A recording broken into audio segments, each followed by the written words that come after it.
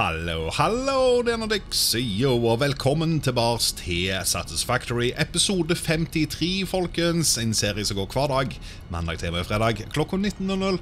Takk være våre flotte patrons. Tusen hjertelig takk for støtten. Sjekk ut Alexio. Så eh, jeg vil bare si ifra om en bitte liten ting, og det er det at den lista som viser navnet deres i, i slutten, eh, dere som er patrons, eh, den blir oppdatert en gang i uka. Så, så til dere som er blitt patron denne uka her, eh, dere kommer til å bli med i neste pulje, for å si det sånn. Så tusen hjertelig takk for støtten. Så jeg har tatt og revet uh, den uh, Hypertube-portaltingen uh, som jeg hadde her. Nå er den borte vekk. Jeg tenkte egentlig å sette den opp i mellomopptak, bare liksom skjelettet til den. Men så begynte jeg liksom å tenke litt at hm, det er faktisk en del ting vi må diskutere her, så derfor tenker jeg at jeg gjør det heller i lag med dere. Jeg har òg korta ned lengden på denne her, for jeg kom på det at liksom, det er null poeng at jeg skal komme ut her, liksom. Det holder massevis å, å komme ut der. Jeg har fått opp rekkverk her og sånn nå. Med andre ord, jeg har fått dette igjen veggen og sånn inni her nå, så bygget er liksom Eh, sånn som det er nå. Og, og jeg, jeg syns det er kult. Jeg, eh, jeg, liker det jeg har gjort her nå. Jeg vurderte å tette igjen liksom langs den, den, fjellveggen der, men vet du hva? det er ikke noe poeng i det. Vet du hva? Det, det, er ikke noe poeng i å drive og jabbe og styre på her. Vi bare setter i gang. Uh, vi tar uh, Uff, hvordan var det jeg gjorde dette her nå? Hvordan var det det så ut? Jeg hadde quarter pipes eh, som sto her. Så hvis jeg tar og super det bortover der Jeg er litt usikker på hvor langt det skal være, og sånn det greiene her, men det, det er sånn som vi kan diskutere etter hvert. Eh, ja, så blir det da her, og så kjører vi det jo ut til enden. Så eh, jeg vet jo ikke om det kommer til å bli så langt, men vi gjør det i hvert fall sånn foreløpig. Eh, og så, oppå her da, så hadde jeg jo da eh, Big Metal Pillar, eh, som da skal stå der, stemmer det? Ja, det stemmer veldig bra. Uh, og så skal det da en på sida av den igjen. Og så skal vi ha en opp... Om jeg kan bare kopiere den og så trykke E? Ja, det kan jeg. Nice.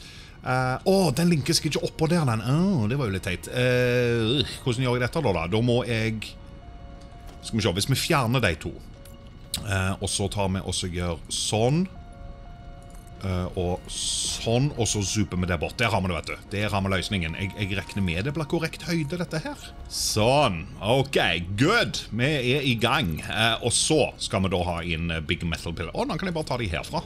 Dette er jo faktisk mye lettere. Uh, litt kul måte å lage vegg på dette her, faktisk. Det er liksom litt annerledes, og det fungerer. Det, det skaper jo liksom et, en, en, litt annen Eh, hva skal man si, en litt annen view på utsida. da, eh, Men mest sannsynlig så kommer vi til å bytte ut det greiene her med f.eks. vegger utpå. eller noe sånt. Det, det finner vi ut av. Det er kanskje litt smått dumt av meg å bygge på begge sidene på en gang her nå. Med tanke på at det kan være jeg muligens kommer til å endre på design og sånn etter hvert som vi begynner å diskutere hvordan vi skal gjøre ting her nå, men vi gjør det i hvert fall sånn. Det var, det var fort gjort å gjøre det, så, så dette er good. Da, da, er vi i gang. Så det jeg har gått og grubla på um, som jeg tror kan bli et problem. Uh, hvis vi ser for oss nå at uh, hvis, vi, hvis, vi, går inn på Hypercubes her Hvis vi nå ser for oss at vi skal ha én inngang der, en der og en der. Altså tre per sånn seksjon, ikke sant? Uh, der, der, der. Jeg tror det er litt kulere enn at vi har en der. OK? For det, det, det der blir liksom så Altså, Jeg skal ha skilt på de og sånn, så liksom vi kommer ut til å se hvor vi skal gå. og sånn, Men når du kommer opp her i fart og hu og hei ikke sant, og skal kjapt en annen plass, så kan det være greit å bare ha skille mellom de. For da er det litt lettere å f.eks. gruppere det. At vi vet at eh, Oi sann.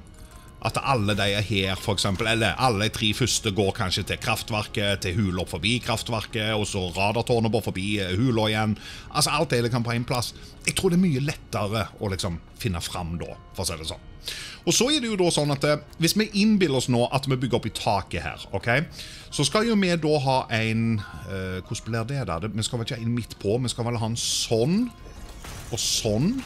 Ja. Så hvis vi nå bare fortsetter med dette her Saken er jo det at uh, dette her er jo da Altså, dette her bruker jo hele bredden av bygget. Ikke sant? Så, så, den siste her, igjen, se for dere på at dette er oppi taket. Den siste vil jo da bli stående her oh. OK. Innbill dere at han står der, men jeg setter han der midlertidig, for dette er bare et eksempel. Så den kommer jo til å være uh, sånn. Ikke sant? Og så har vi jo da den neste på sida der igjen. Eh, og den skal jo da kobles inn i der Skal vi se uh, Inn i der igjen. ikke sant? Og det, det var jo sånn det så ut oppi taket.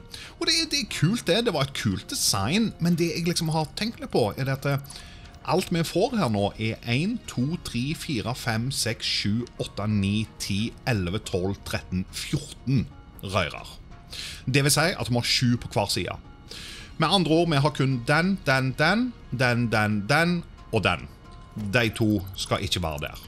Og så blir det jo da selvfølgelig det samme på andre sida. Sju til der. ikke sant? Da har vi jo plutselig ikke bruk for den delen der, og vi har heller ikke bruk for den delen der, mer eller mindre. Så, så da er det plutselig sånn Er ikke den portalen her da litt liten? Altså, Blir ikke det litt smått?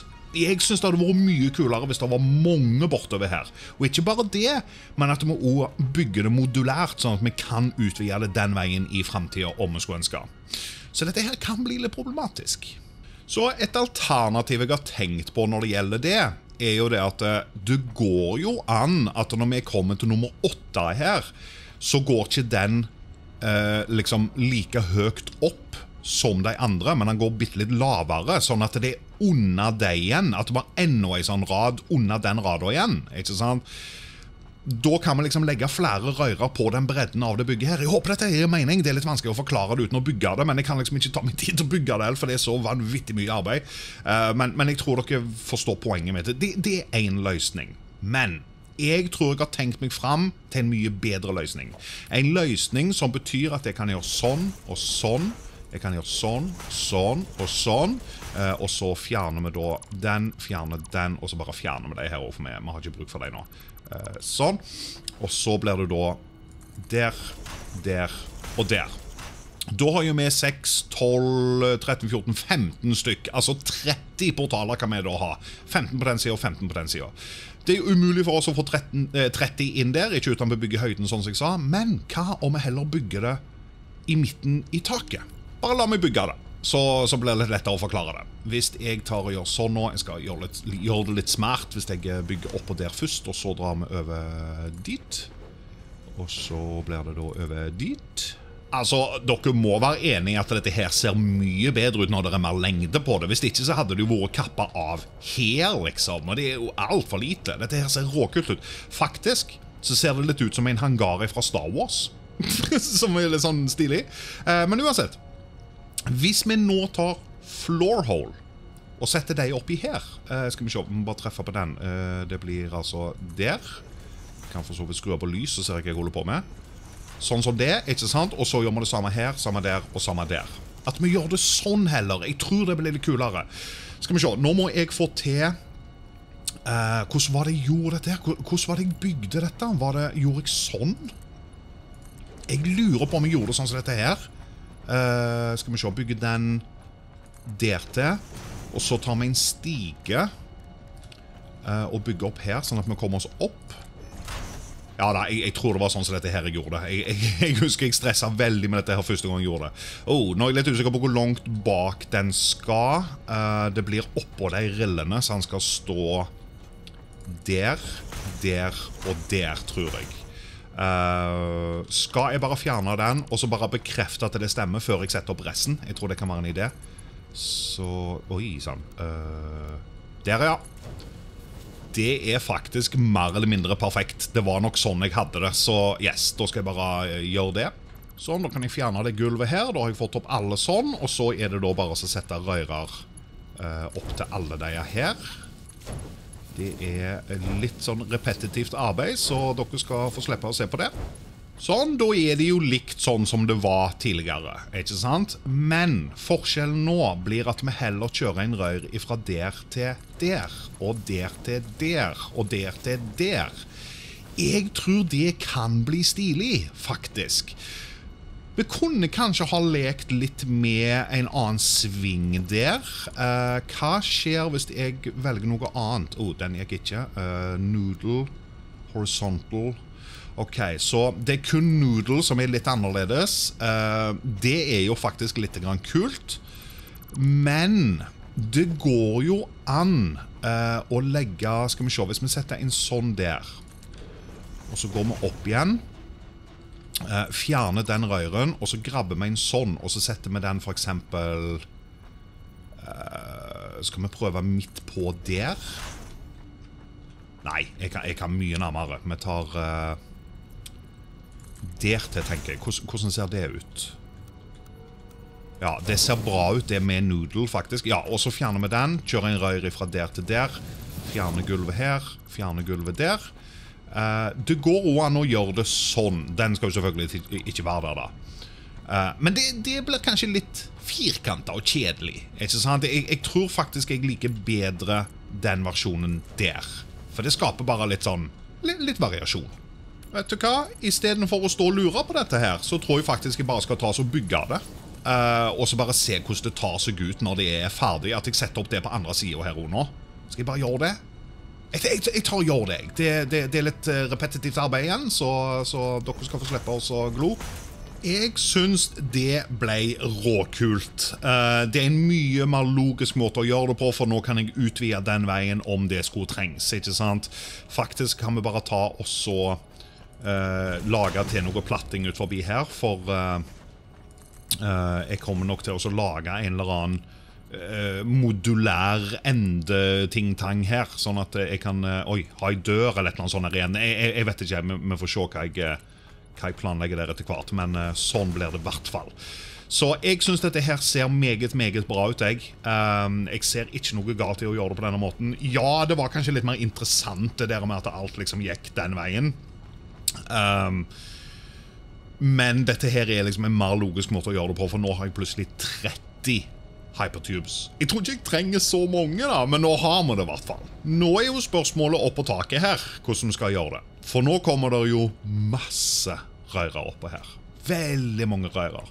Skal vi bare telle hvor mange vi faktisk får plass til når vi bruker hele bredden her oppe? Hvis vi setter en der eh, Skal vi se. To, tre, fire, fem, seks, sju, åtte, ni, ti, elleve, tolv. 12, så 24. Med andre ord, vi får ikke nok på hele bredden. Um, så jeg er veldig usikker på hvordan vi skal gjøre det her oppe. For, for nå tenkte jeg liksom, hva om vi da kjører rør nå ifra der til der? Uh, og så ifra den til den. Fra den til uh, den. Fra den til den, ikke sant? Det er jo veldig stilig, det greiene her òg, da. Jeg, jeg, liker det når de er litt inni en annen her, så jeg må jo være litt mer nøye med det. men det er jo en kul måte å gjøre det på, men, men da har jeg ikke plass til alt. Pluss at nå forsvinner det modulære. Nå kan jeg liksom ikke fortsette det modulært. da. Men vet du hva? Jeg tror faktisk ikke vi kommer til å trenge å utvide dette. altså. 30 hypertubes bør holde i massevis, spør du meg. Vi kommer til å få tog og sånn i framtida òg, så jeg kommer jo til å bruke det til transport. og sånn. Det jeg eh, lurer på om jeg skal gjøre, er faktisk å gjøre sånn, sånn og sånn. Uh, en der, en der, en der. Uh, det er altså seks stykk av de. Vi tar ni stykk på sida her. Da sitter jeg igjen med skal vi se, 1, 2, 3, 4, 5, 6, 7, 8, 9 1, 2, 3, 4, 5, 6. Så seks til, da. Uh, hvis vi da tar tre til her, og så kjører vi tre her, bare for å få litt variasjon, så kan vi gjøre det sånn at de tre der, de går der til. Sånn som da. Eh, og så begynner det da å gå over her til. Sånn som da. Eh, og så den der da skal inn der, den skal inn der, osv. osv. Skjønner du? Eh, da blir det jo litt sånn Da kan de gå imot vest, og så har vi tre som går nordover. Kan jo være at de trenger mer enn tre som går nordover. Faktisk. Ja, vet du hva? Vi tar også fjerner det og det. Fjerne deg. Og så setter vi opp tre til her. Så der, der og der. Så kjører vi da ifra den til den, ifra den til den, fra den til den, der til der der til der. Det blir litt mye sånn der til der i denne episoden, her, men det, det er bare jeg som driver og eksperimenterer med hvordan dette her skal se, ut. Det er jo mulig å gjøre det på denne måten, her, for da har vi liksom eh, ni stykk som går imot vest, og så har vi eh, seks stykk som går imot nord.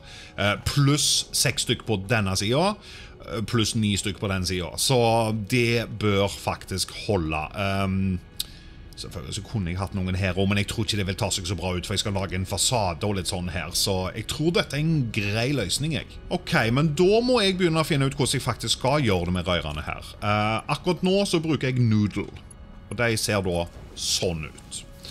Hva hvis jeg bruker uh, for eksempel horizontal to vertical?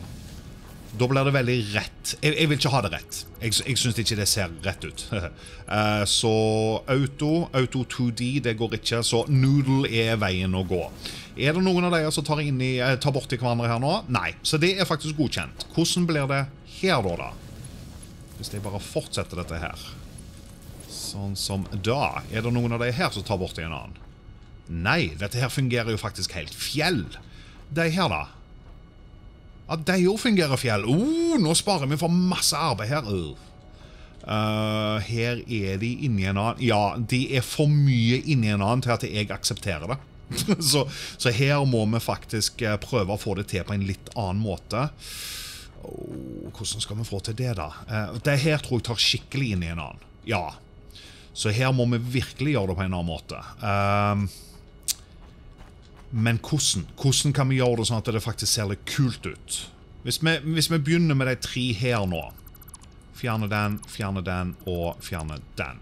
Um, vent litt. Hvis vi setter på plass den, og så prøver vi å bygge noe ut ifra liksom, litt fasongen på den Så hvis vi går her til for eksempel, og løfter opp sånn, og så kjører vi en røyre fra der til der Da tar ikke den bort borti Jo, han tar borti, men han er ikke inni. Eller er han det? Jeg lurer på om han er bitte litt inni, faktisk. Ok, Hvis vi, hvis vi tar og flytter den der til da, og løfter den opp uh, Om jeg fjerner Å, jeg fjerner feil rør. Skal vi se, vi prøver det en gang til. Uh, der. Og så fjerner vi den og den røyren. Det, det var bedre. Og så prøver vi der istedenfor. Og så ifra der og inn eh, der, ja. Oi sann, det ble veldig sving på den, men da tar vi vekk den. Det funker, det, altså. Det gjør det. Eh, jeg kunne ha prøvd Åh, Hvor var det jeg hadde den nå, da? Var det der? Oi. Der Wow, han skulle save der. Var det der jeg hadde den? Nei, det var, det var der jeg hadde den. Skal vi se. Prøve dette her en gang til. Der skal han være. Ok. Hvis vi heller tar uh, Skal vi se om vi gjør sånn, men vi prøver den i en litt annen fasong. Oh, nei. Alle andre blir veldig rett, så det må bli noodle. Det blir litt ekstra sving, men, men liksom, jeg liker at det er litt sving, for det, det, er tross alt jeg som skal fly gjennom her. Jeg har ikke lyst til å brekke nakken i 90 grader svinger heller, liksom.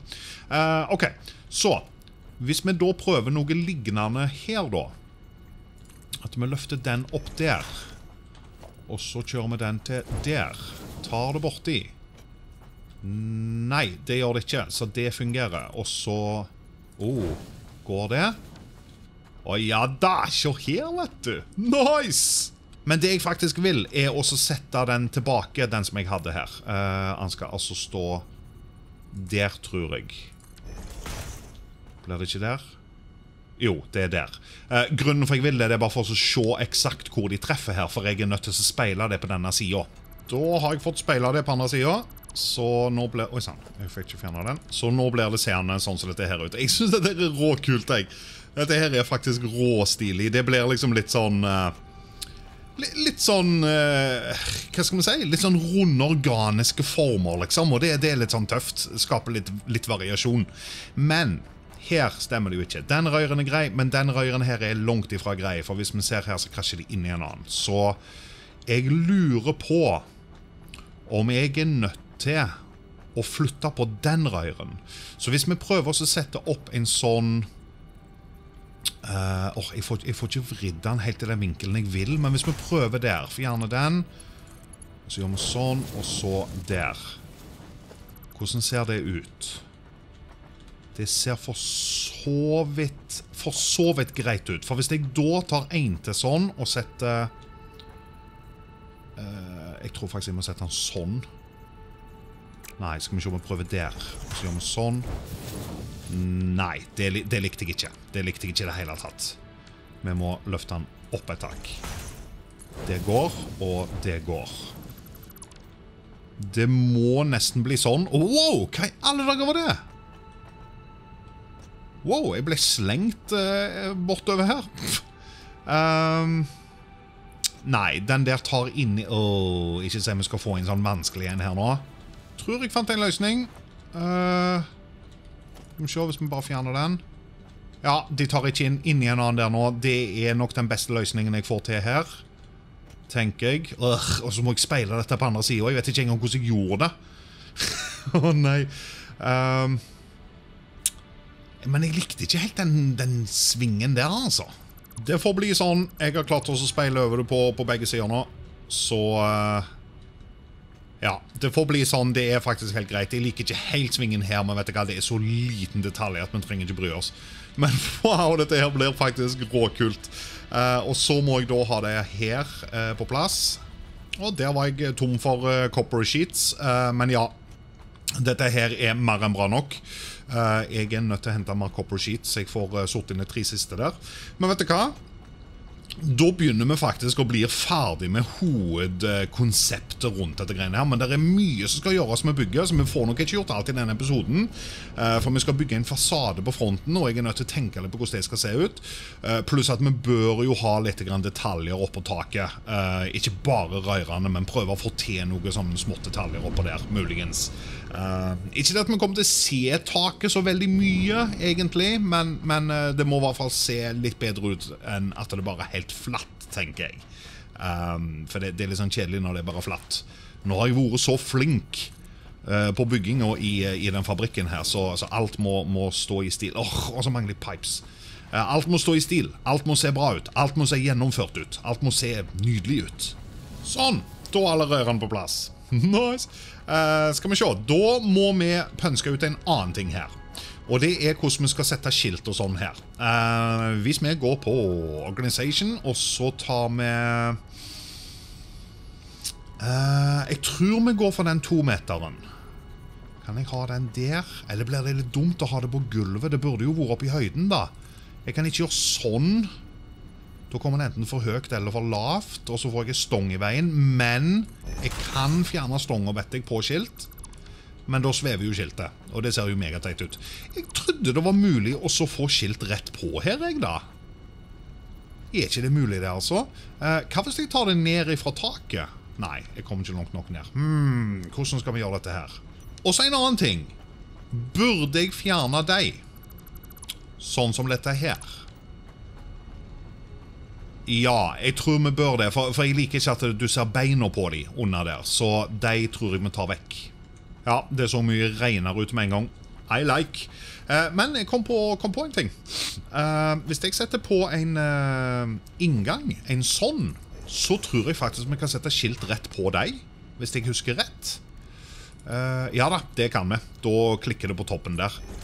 Å, det er jo perfekt. Dette her blir så kult! Oh my god. Ok, vet du hva? Vi bygger uh, Hva er det jeg mangler? Hva er det for noe? Industrial beam. Encased industrial beam trenger jeg. Og får på plass en haug av de her. Sånn så det, vet du. Nice. Eh, og så hiver vi opp skilt på alle bortover. Sånn. Åh, det der er så digg å endelig bli ferdig med de greiene her, for jeg har hatt så lyst på en skikkelig Hypertubes hub så lenge nå. Øh, og så må jeg gjøre det samme på denne siden. Ja, det hadde jeg faktisk glemt. Men så er det en ting til jeg må tenke på her nå. Det er jo uh, strømmen. Det må jo strøm til alle de her. Uh, men jeg tror jeg ser en plan på det nå mens jeg holder på her, faktisk. Hvis vi skifter hotbar, så setter vi opp en stolpe der. Vi setter opp en stolpe der. Det er litt irriterende, for jeg skrur på lykta mi. Men hver gang jeg bruker Hypertube, så går lukta av. Og det er litt sånn Slutt med det. Ok, For nå tror jeg vi skal kunne gjøre Sånn og sånn og sånn og sånn og sånn. Og så kjører vi da Nei, det går ikke det, for jeg må ha Jeg må ha en som går bort der til henne. Uh, da må vi bytte ut den ene til Mark 2, og det har ikke jeg råd til, for jeg trenger quick wire. Uh, jeg kunne jo Jeg kunne jo for så vidt ha brukt uh, Mark 2-stolper gjennom hele greiene, da. Hvorfor er det ikke Quickwire? Å, jeg, produser, vet hva? jeg produserer ikke Quickwire lenger, jeg, folkens. Vi er nødt til å fikse opp i de greiene der. Det er faktisk ikke bra, for vi kommer til å gå tomt hvis ikke jeg gjør noe med det. Hvis, hvis det blir for lenge midlertidig, så går jeg tomt. Og det er ikke bra. Skal vi se om vi prøver det en gang til. Hvis vi setter en Mark 2 der nå. Sånn. For da kan jeg kjøre strøm der til. Uh, og så kjører vi en ned der. Uh, der og der. Det ser greit ut, det. Ja da. Og for da skal jeg kunne gjøre sånn og Nei, det går ikke, det. For da, da blir én to. Så det blir to mm. Da må jeg nesten til med mark uh, to, altså. Men holder det da at jeg gjør sånn Fjerne den, fjerne den og fjerne den. Kjøre en kabel fra der til der. Ned sånn, sånn, sånn. Og fra der til der til Nei, det går ikke. det Å, det hadde vært så kult hvis det hadde fungert. Ble! Jeg får det ikke til som jeg vil. Det var irriterende.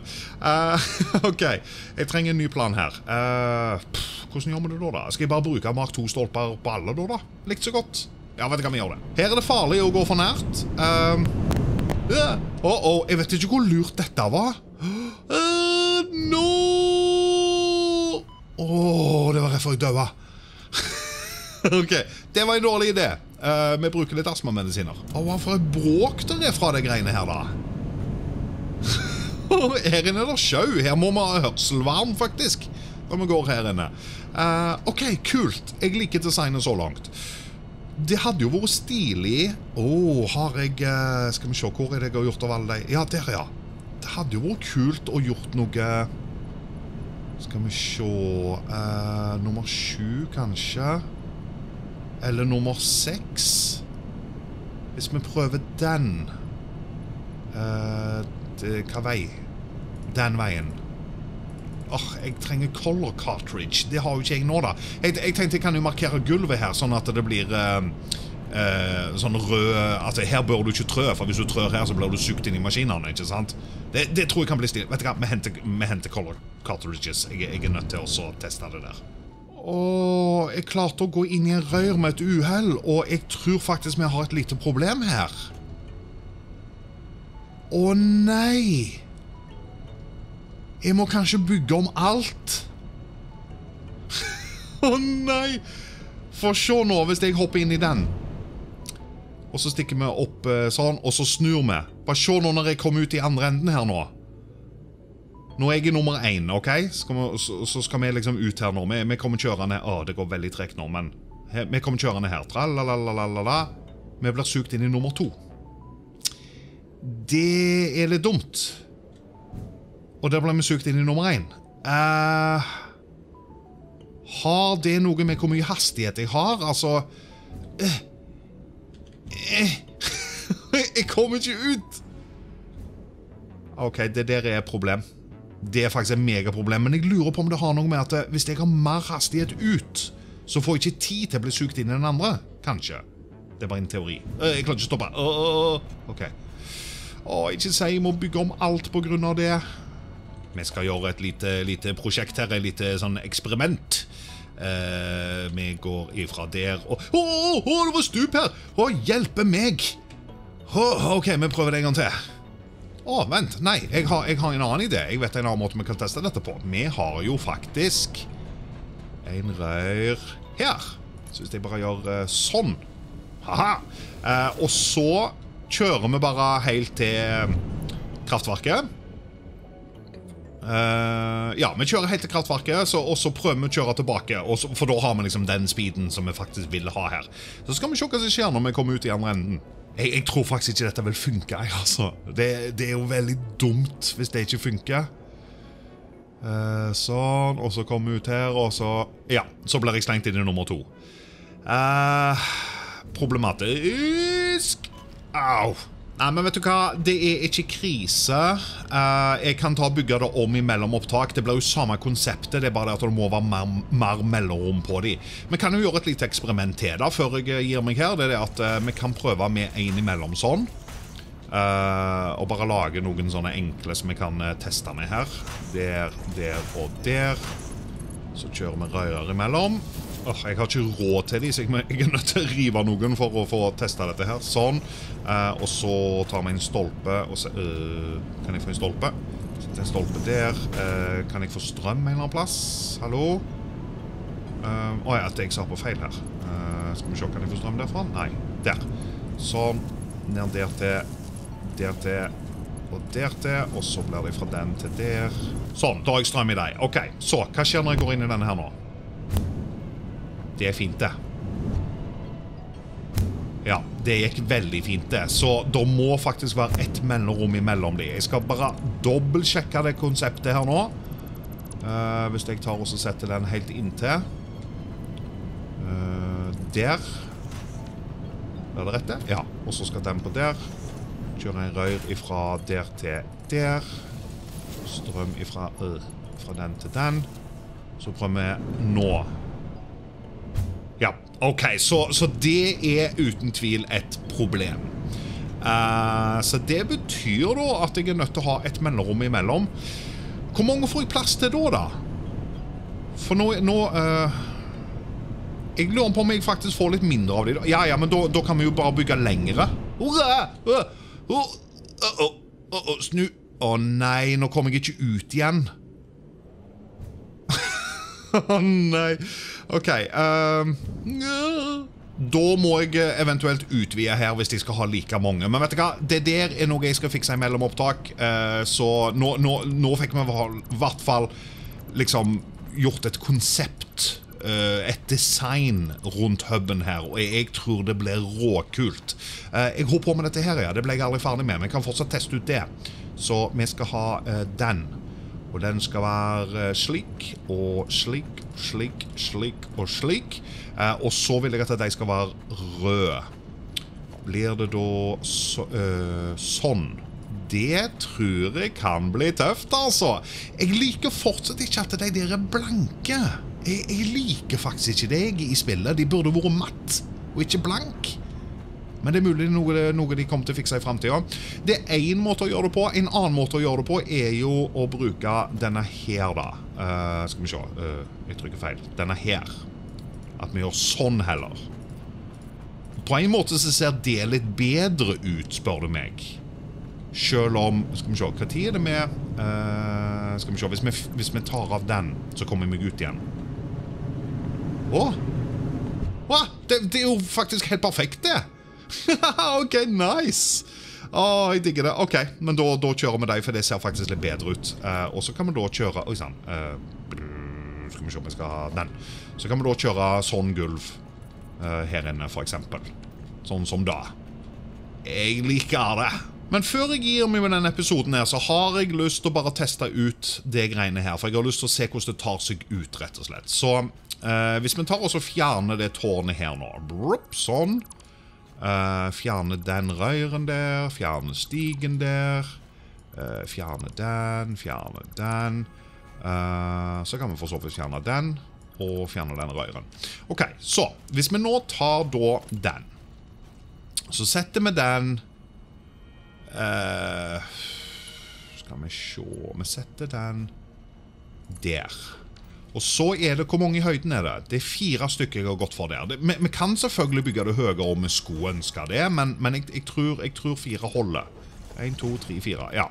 Uh, og så er det da en sånn som skal være uh, Hæ? Er, er, det sånn jeg har gjort det? Sånn og sånn? Ja, det tror jeg. Å ja, jeg har de under, ja. Stemmer det? Nei, dette stemmer jo ikke. What? Hvorfor, hvorfor har jeg klart å plassere dem på en annen måte her? Å, det har noe med hvor jeg sikter. Ah, jeg skjønner. OK, så Hvis jeg sikter på den sida Nei. What? Hvorfor fikk jeg det til på den ene siden, men ikke den andre? siden? Nei, sånn er det i hvert fall ikke. Vent litt. Hva er det som foregår her nå? Der har man! Der har vi det. OK, og så skal vi da ha den, som skal være øh, der. Og øh, der. Oi, nå bygde jeg to. Den skal vekk. Sånn. Ja, vent litt. Hvordan ser det ut med, med, en sånn inni der? Ser det greit ut, det? Oh, det var faktisk litt kulere, det, for det ser ut som det kobler mer i sammen. Ja, ja, ja, ja, ja. Jeg liker det. Jeg liker det. ok. Eh, og så kjører vi da en eh, sånn som da skal stå her en eller annen plass. Midt på her. Så eh, der. Og eh, der. Stemmer ikke det? Jo, det ser ut til å stemme. Og Så er liksom spørsmålet skal jeg kjøre to i høyden på hvert tårn, eller skal jeg kjøre to på hvert tårn. For jeg tenker liksom, Nå har vi to, to, to, to og én. Så det vil jo ikke gå. Da vil det heller ikke gå med fire, fire Jo, én, to, tre Wow. Én, to, tre, fire. Én, to, tre, fire Nei, vi har én for mye der. Um, jeg tror faktisk vi må tenke litt på det òg, jeg. Jeg tror faktisk vi må tenke litt på det òg, sånn at vi har litt sånn korrekt antall i forhold til hvor mange det er på tårnet og sånne ting. hvis det gir mening. Men uansett, målet mitt nå er bare å teste ut det konseptet her. Så, så vi bare fortsetter å bygge sånne tårn bortover her, og så uh, har jeg bare lyst til å kjøre gjennom det, bare på gøy, og så bare se at det faktisk fungerer.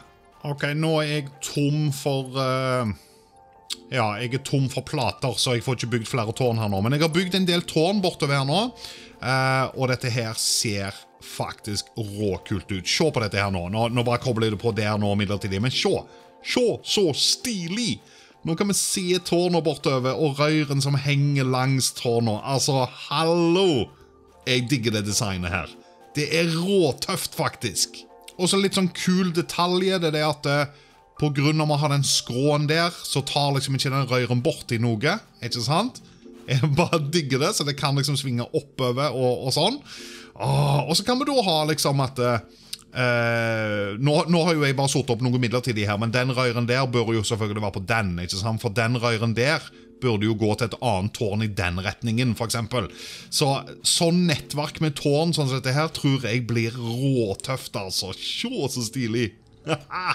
og så kan vi kjøre under det og sånn. Det er liksom ikke i veien for noe som helst. Hvis vi bare kobler en rør der til der nå, og så tester vi ut eh, hvordan det ser ut, hvordan det føles å fly gjennom. Det blir da den første her. Så vi hopper inn, går gjennom røyren, og så er vi på vei mot tårnet. Se her, vet du. Nice! Ikke i veien for noe som helst. Dette her er en fantastisk måte å gjøre det på. Jeg skulle ønske at det gikk an å ha litt mer mellomrom mellom uh, røyrene. Um, dette her er liksom maks lengde på de. Selvfølgelig er det, noe, er det noe jeg kunne ha endra, da.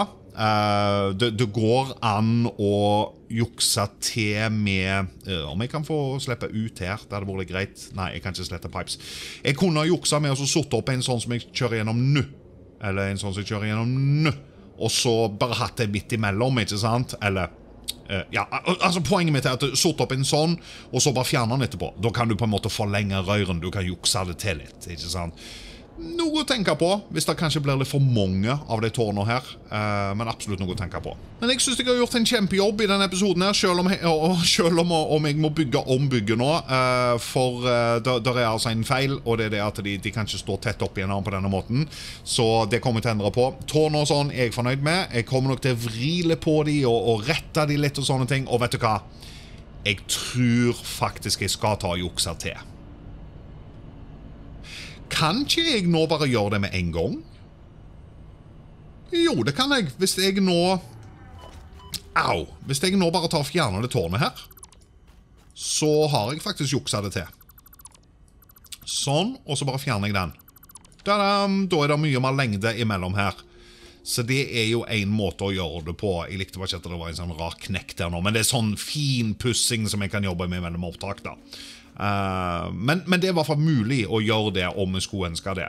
Jeg likte ikke det, faktisk. Jeg, jeg tror det var litt kulere å ha et tårn der. Jeg må si tusen hjertelig takk til alle patrons. Uh, det er dere som holder denne serien gående. Uh, jeg elsker det spillet her, så jeg storkoser meg med innspilling. Uh, hvis det er sånn at uh, liksom, dere ikke har lyst til å bli med og støtte serien lenger, så uh, OK, da kommer jeg til å sette meg ned og spille det alene. for altså, Jeg kommer ikke til å stoppe å spille det spillet, for jeg koser meg så utrolig mye med det. så derfor vil jeg bare si tusen hjertelig takk for støtten, for da kan jeg ta dere med på reisen min gjennom Satisfactory. Så Tusen, tusen takk. Ikke glem å abonnere. Ikke glem å trykke like. Eh, trykker du like, så når videoen flere, så det er jo alt ganske greit. Eh, og så ses vi. Ny episode i morgen 19.00. That's all.